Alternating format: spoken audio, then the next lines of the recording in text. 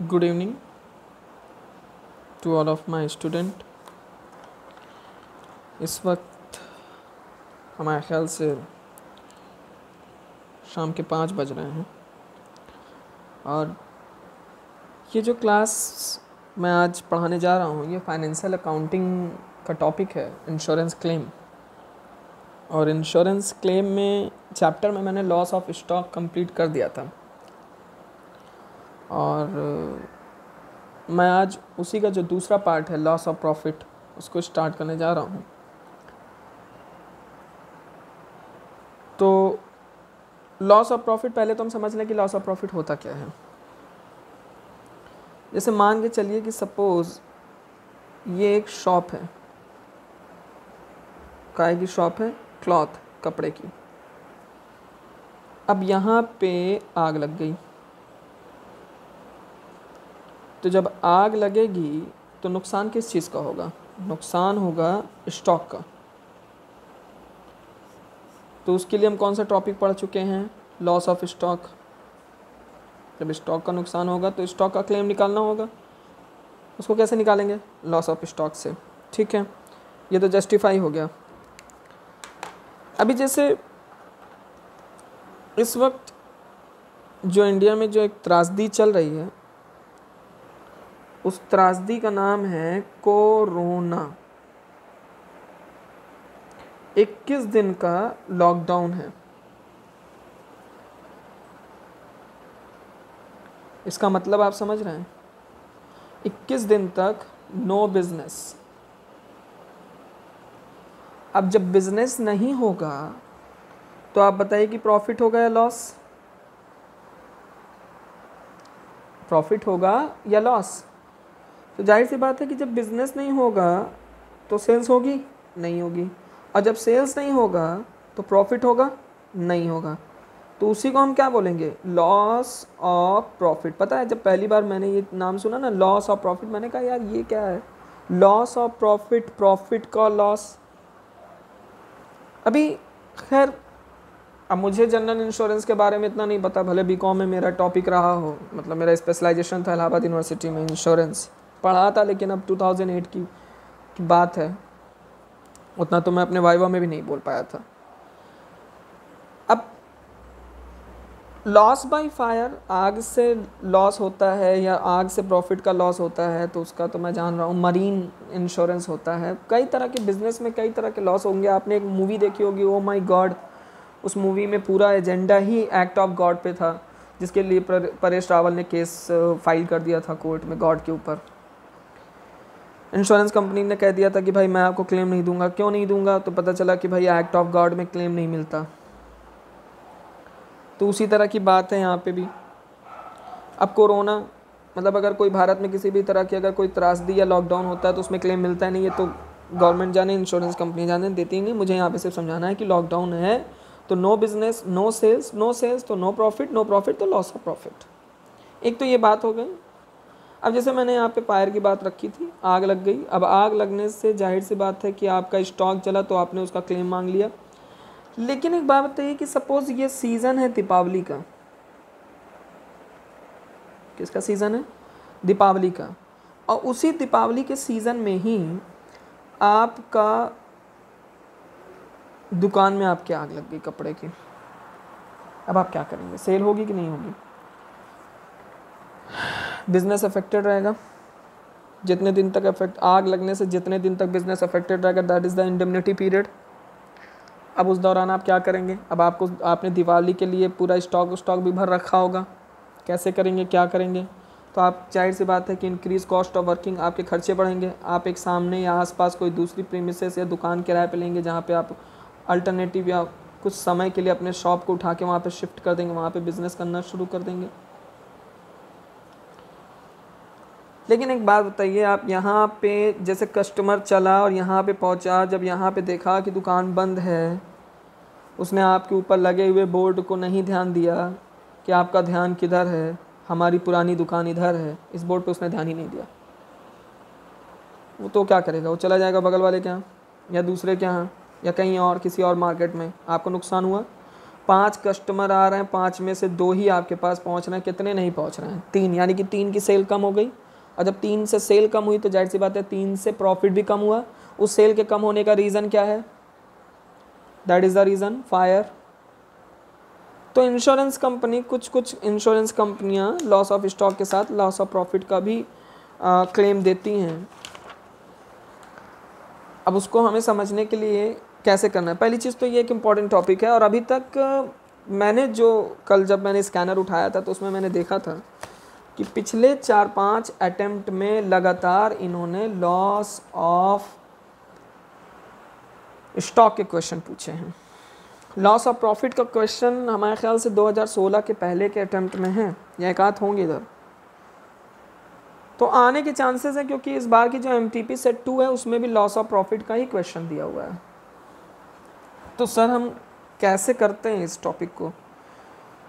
तो भाई इसका स्टेप नंबर वन है। स्टेप सात स्टेप है, सात स्टेप में क्वेश्चन ख़त्म हो जाता है। स्टेप नंबर वन क्या कहता है step number one indemnity period indemnity period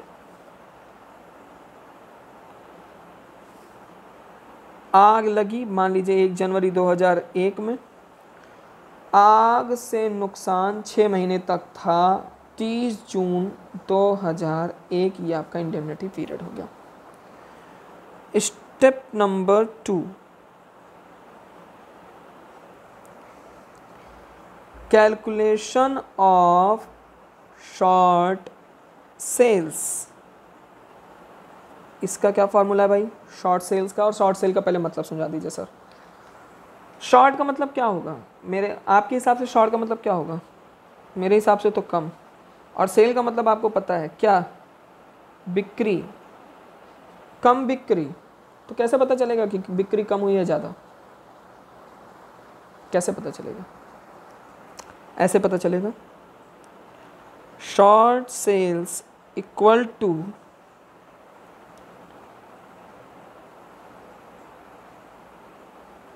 sorry, standard sales minus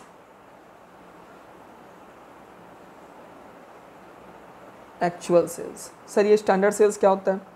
भाई, एक बात बताइए। आग कब लगी? है कब तक बिज़नेस अफेक्टेड था?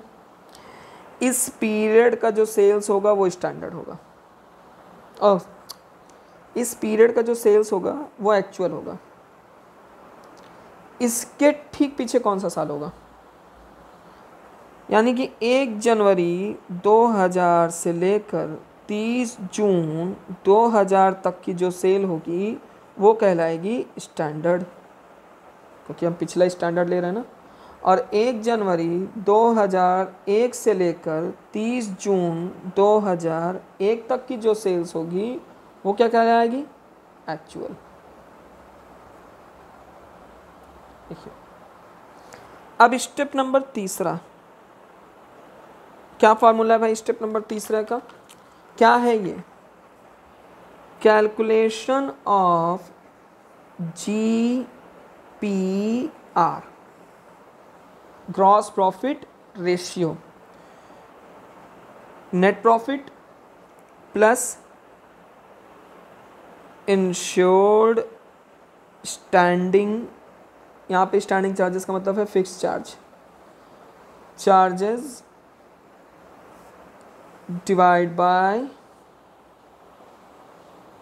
turnover multiplied by hundred ये हो गया आपका। इससे क्या आ जाएगा आपको? ग्रॉस प्रॉफिट का रेशियो पता चल जाएगा। अब स्टेप नंबर फोर पे आते हैं। स्टेप नंबर फोर क्या कह रहा है step number four loss of profit कैसे निकलेगा लॉस ऑफ़ प्रॉफिट भाई? मैं शॉर्ट फॉर्म थोड़ा सा यूज़ कर ले रहा हूँ लॉस ऑफ़ प्रॉफिट को मैं एलओपी लिख दे रहा हूँ। आप एग्ज़ाम में मत यूज़ करिएगा। Short sales multiplied by G P R जो आपने निकाला था। स्टेप नंबर फाइव की बात करें। लॉस ऑफ़ प्रॉफिट का क्लेम कंपनी दे देगी। अब मैं आपको पहली स्लाइड पे फिर ले चलता हूँ। आप आ जाओ यहाँ पे। आग लगी मेरी दुकान में। अब मैंने अपने बिज़नेस को बचाए रखने के लिए क्या किया? एक दूसरी दुकान किराए पे ले ली। तो ये दुकान मैंने किराए पे क्यों ली? अगर आग लगी होती, आग ना लगी होती तो क्या मैं ये दुकान किराए पे लेता? नहीं लेता। ये दुकान किराए पे लेने की वजह क्या है? आग। आग लगना ही वजह है ना? इस दुकान को हमने जो किराए पे लिया है, इसकी वजह क्या है? आग लगी इसलिए लिया। तो अब क्या होगा? आग लगी, इस वजह से हमने लिया तो हमारा खर्चा बढ़ा कि नहीं? तो इसका भी क्लेम हमें मिले।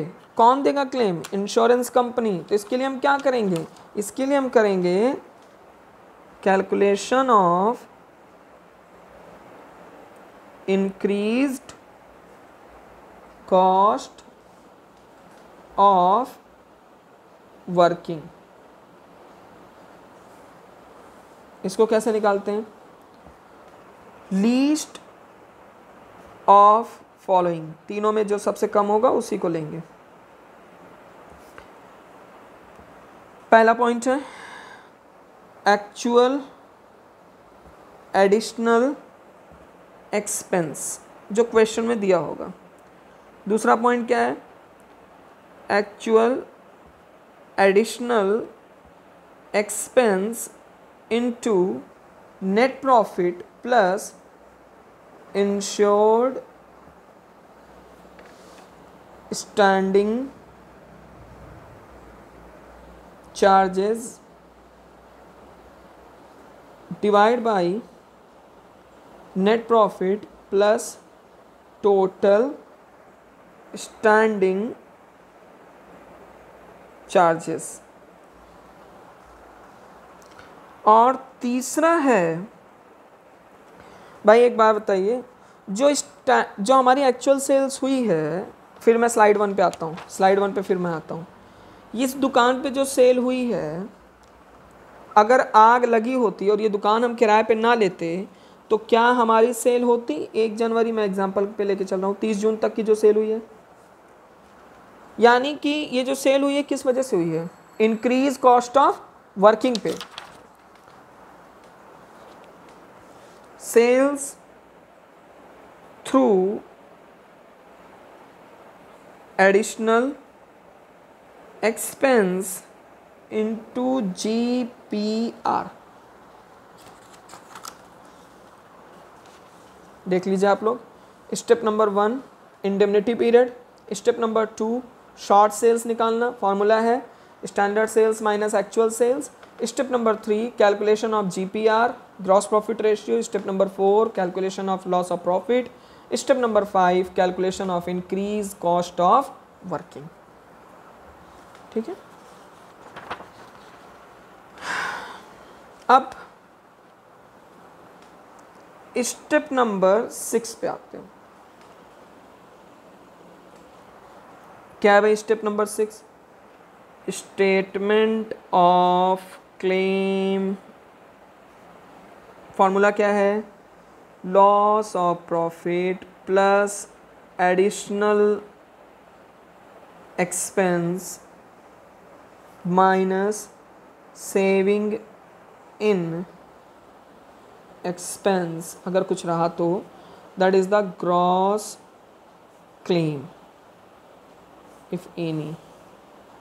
Step number seven last step average clause average clause क्या होता है? मैंने बता दिया है आपको लॉस ऑफ़ स्टॉक में ऑलरेडी फॉर्मूला है gross claim into policy question में दिया रहेगा पॉलिसी के अमाउंट डिवाइड बाय ये जो लास्ट में मैं डिवाइड बाय लिखने जा रहा हूँ, यही मेन है, यही पूरे पूरे के पूरे स्टेप की यही जान है. Gross profit on annual turnover before fire sir यहाँ पे हम लेंगे क्या? बेटा, आग कब लगी है? अगर आप एग्ज़ाम्पल के हिसाब से चलो तो मैंने इंडेमनिटी पीरियड के हिसाब से आग कब लगी है? एक जनवरी 2001 को। अब एक जनवरी 2001 के ठीक पीछे कौन सा महीना होगा? 31 दिसंबर तक की जो सेल्स होगी 12 महीने का। थर्टी फ़र्स्ट दिसंबर क्योंकि जनवरी से पहले दिसंबर एंड होगा ठीक पीछे के बारह महीने का हम लेते हैं। तो इकतीस दिसंबर तक की जो सेल्स होगी, उसका जो ग्रॉस प्रॉफिट रेशियो निकाला है, उससे मल्टीप्लाई करके ग्रॉस प्रॉफिट निकाल लेंगे यहाँ पे। तो हमारा एवरेज क्लॉज आ जाएगा। ठीक है? क्लियर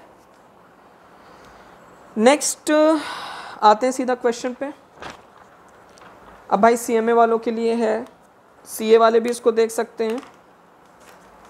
क्योंकि उनके यहाँ भी ये टॉपिक पूछता है। पाँच छः नंबर ये उनके यहाँ भी आएगा एग्ज़ाम में। तो आप आ जाइए मॉड्यूल पे। मॉड्यूल पर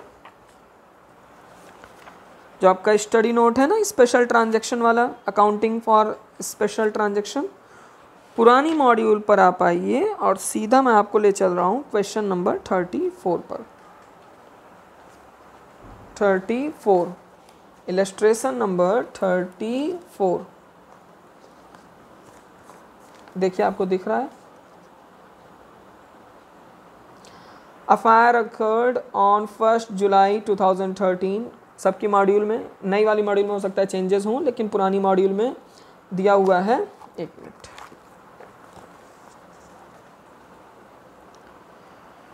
2012, उसको उठा के सही कर लीजिएगा। अ फायर अकर्ड ऑन एक July 2013 in the premises of A limited and business was practically disorganised up to 30 November 2013 from the books of account the following information was extracted actual turnover from एक जुलाई 2013 to नवंबर 2013 यहाँ पे 30 नवंबर कर लीजिए 30 नवंबर 2013 तक का। एक लाख बीस हज़ार, ये एक्चुअल हो गया। तो स्टैंडर्ड के लिए आपको क्या देखना है? तेरह की जगह पे क्या हो जाएगा? बारह और बाकी सब कुछ सेम रहेगा। यानी एक जुलाई 2012 से तीस नवंबर 2012 तक की सेल्स तो टर्नओवर फ्रॉम एक जुलाई 2012 यहाँ पे दिया नहीं एक जुलाई टू तीस नवंबर 2012 तक की जो सेल्स है, ये कौन सी सेल्स हो जाएगी? Standard net profit given insured standing charges given turnover for the last financial year ये भी दिया हुआ है। Turnover for the period ending तीस जून, इसको जरा देखिए। आपके यहाँ आग कब लगी है? और टर्नओवर कब तक का दिया हुआ है? ईयर एंडिंग बोलते हैं ना, यानी कि साल भर का, तीस जून, यानी कि बारह महीने का टर्नओवर टोटल स्टैंडिंग चार्जेस दिया one forty four the company incurred additional expense क्यों एडिशनल एक्सपेंस भाई, मैंने बताया था आपको. Eighteen thousand which reduce the loss in turnover there was also a saving during मतलब ये एटीन थाउज़ेंड का जो एडिशनल एक्सपेंस किया, इससे आपका जो टर्नओवर का लॉस था, वो कम हो गया. Reduce the loss of turnover there was also a saving during the indemnity period four nine seven two अब इसमें क्वेश्चन में एक पॉइंट है. Company hold the company hold a loss of profit policy for three lakh thirty thousand having an indemnity period for six month कितने की policy ले रखी है? तीन लाख तीस हज़ार रुपये इंडिमिनिटी पीरियड कितना है? Six month there has been a considerable increase in trade and it has been agreed that an adjustment of twenty percent be made in respect of upward trend in turn यानी पिछले साल की तुलना में इस साल जो टर्न है उसमें अपोवर्ड ट्रेंड है, यानी कि बीस परसेंट की बढ़ोतरी है। बढ़ रहा है। तो जब 20 परसेंट बढ़ रहा है, अगर यही हम कह देते डाउनवर्ड इन टर्नओवर तो हम क्या करेंगे? जैसे मान के चलो कि सपोज़ अभी कोरोना का इफ़ेक्ट है, और अगर मान लो कि जब अभी लॉकडाउन ख़त्म होगा, और हमारा जब बिज़नेस स्टार्ट होगा तो उसमें ट्रेंड अपवर्ड रहेगा या डाउनवर्ड रहेगा? ज़ाहिर सी बात है कि कपड़े वपड़े की जो इंडस्ट्री होगी, उसमें डाउनवर्ड होगा, क्योंकि रिसेशन का थोड़ा थोड़ा सा इफ़ेक्ट तो होगा ही। और मान लीजिए कि आज के हिसाब से अगर क्वेश्चन 2020 के हिसाब से क्वेश्चन अगर आपके एग्ज़ाम में पूछ ले तो क्या कह सकता है? यही बोल सकता है ना कि हाँ डाउनवर्ड इन टर्नओवर और डाउनवर्ड इन टर्नओवर के केस में आपको टर्नओवर को क्या करना है? ट्वेंटी परसेंट रिड्यूस कर देना है। ठीक है?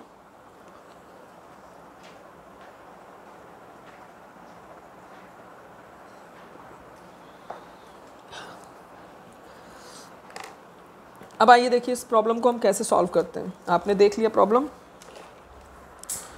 मॉड्यूल सबके पास है? चलिए।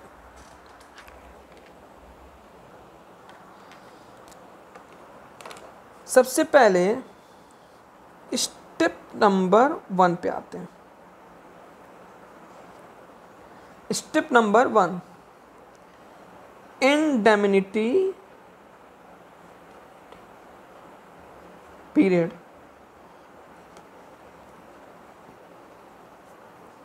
आग कब लगी है? एक जुलाई 2013 अफेक्ट कब था बिज़नेस 30 नवंबर 2013 तक। Step number two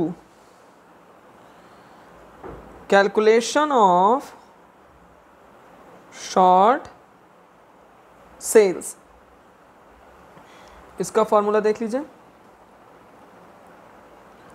Short sales equal to standard sales minus actual sales question में आप देखिए तो एक्चुअल सेल्स लिखा हुआ है सबसे पहली लाइन में one lakh twenty thousand standard sales भी लिखा हुआ है। कितना लिखा हुआ है? एक जुलाई दो हज़ार एक जुलाई से तीस नवंबर 2012 तक की जो सेल्स है वो स्टैंडर्ड सेल्स है। कितनी लिखी हुई? है फोर लाख लेकिन हम उसको कर दे रहे हैं four lakh eighty thousand sir why क्योंकि इस साल, एक ज़ीरो कम कर देते इस साल, यानी कि जो 2013 में पिछले साल की तुलना में कितना परसेंट इंक्रीज हुआ है? Twenty percent. तो ज़ाहिर सी बात है कि आप स्टैंडर्ड सेल को स्टैंडर्ड कर रहे हो ना, बराबर पे ला रहे हो ना तो उसको भी तो ट्वेंटी परसेंट इंक्रीज करोगे। तो फोर लाख था फोर लाख का ट्वेंटी परसेंट ले लेंगे तो कितना आ जाएगा? एट्टी। स्टेप नंबर तीसरा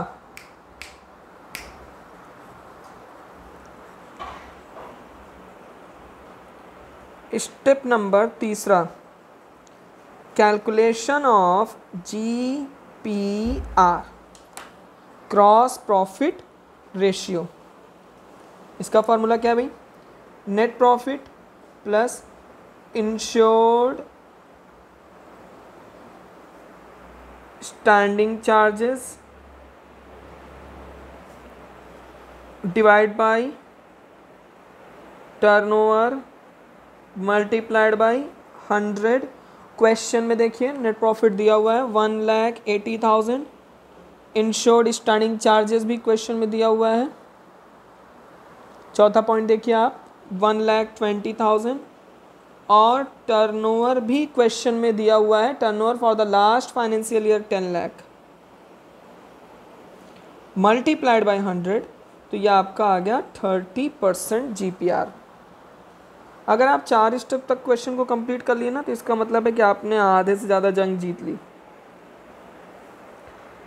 Calculation of loss of profit loss of profit equal to short sales into G P R और शॉर्ट सेल्स क्वेश्चन में दिया हुआ है आपने कैलकुलेट किया था फोर एट्टी माइनस वन तो three lakh sixty thousand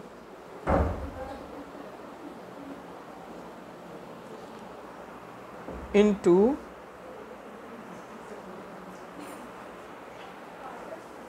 एक लाख आठ हज़ार रुपये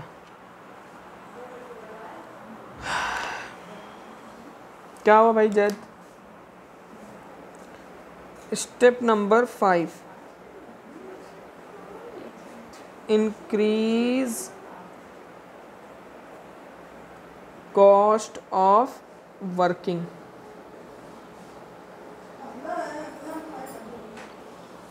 पहला पॉइंट एक्चुअल एक्सपेंस दूसरा point actual additional expense into net profit plus short में लिख दे रहा हूँ insured starting charges upon net profit plus total starting charges तीसरा turnover through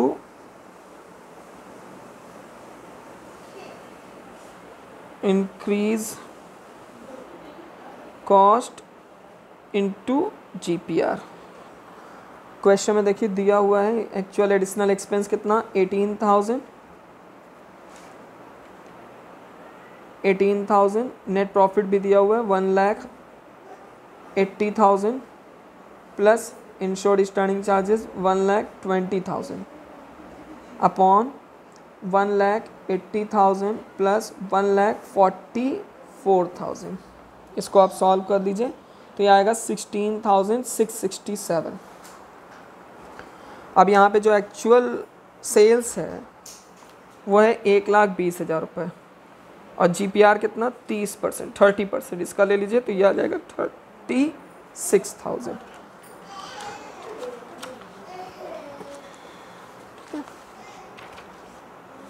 देख लीजिए आप पहले इसको।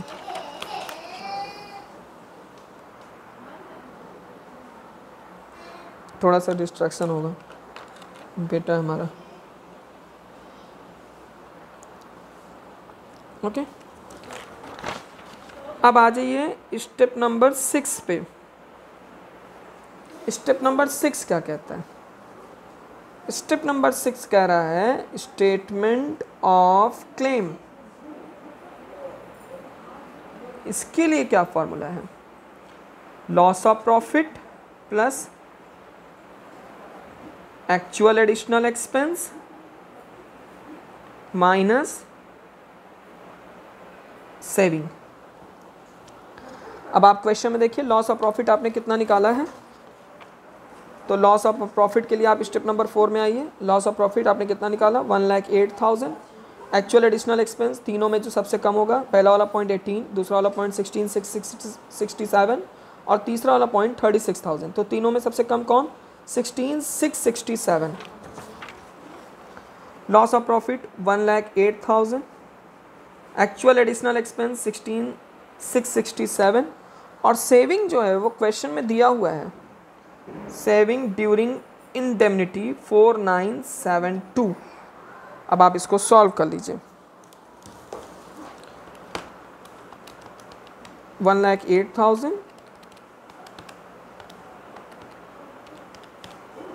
one lakh nineteen thousand six ninety five that is your gross claim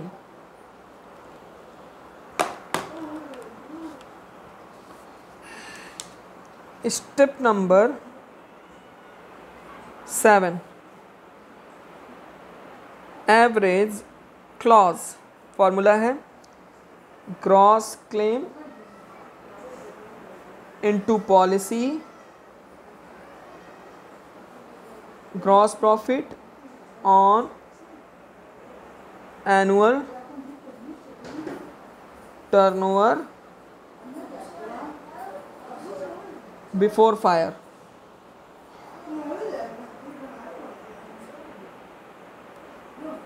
policy question में देखिए तो पॉलिसी आपने कितने के लिए रखी थी? तीन लाख तीस हज़ार रुपये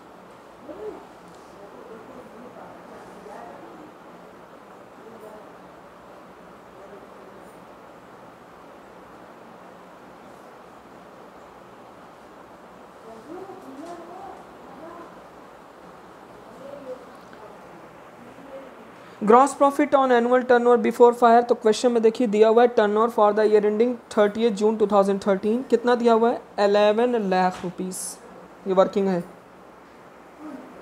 एलेवन लाख रुपीस ये टर्नओवर है आग से पहले। इसमें ट्वेंटी परसेंट जो अपवर्ड ट्रेंड है, उसको भी जोड़ दीजिए। तो आ जाएगा दो लाख बीस हज़ार रुपये टोटल हो जाएगा तेरह लाख बीस हज़ार रुपये अब इसका आप जीपी निकाल लीजिए।